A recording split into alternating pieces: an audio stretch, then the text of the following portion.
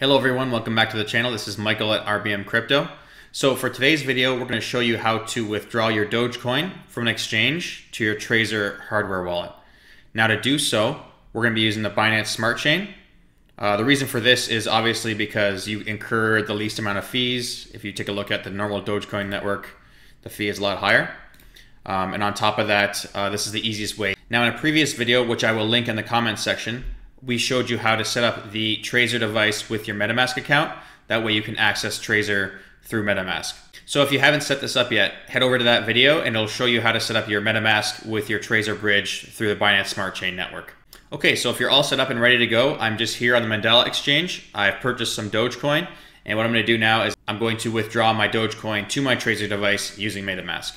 So if I go to the top right hand corner here, you'll see I'm logged into MetaMask right now. I've already connected my Trezor device. So it's currently on my Trezor 5 account. And what I'm going to do now is just switch from the Ethereum network over to Binance Smart Chain. And then I'm going to copy my address, head on over to the exchange, and I'm going to withdraw my Dogecoin. Pasting my address in here, hitting max, and submitting for withdrawal.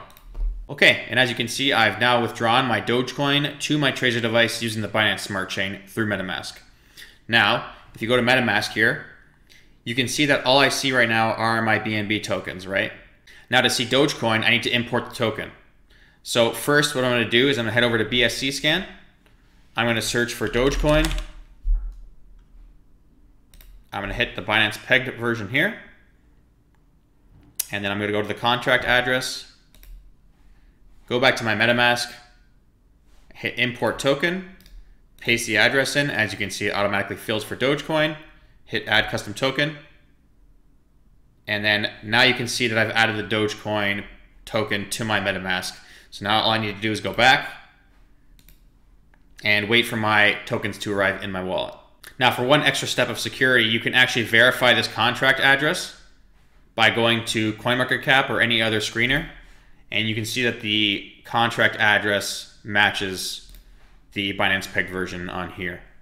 Okay, and now I can head back over to MetaMask, and I think when I initially showed you guys, I never actually imported the token correctly. So I'm just gonna put the contract address back in here, add custom token, and as you can see, my tokens have arrived, and the only stuff I forgot before was just to hit import tokens.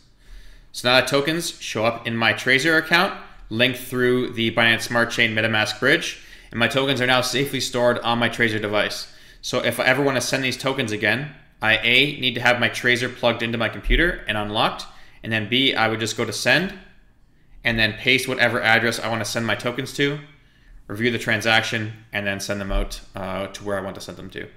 And that's pretty much it for this video. So if you're enjoying the content that you're seeing on this channel, don't forget to like and subscribe, and we'll see you in the next one. Thanks and take care.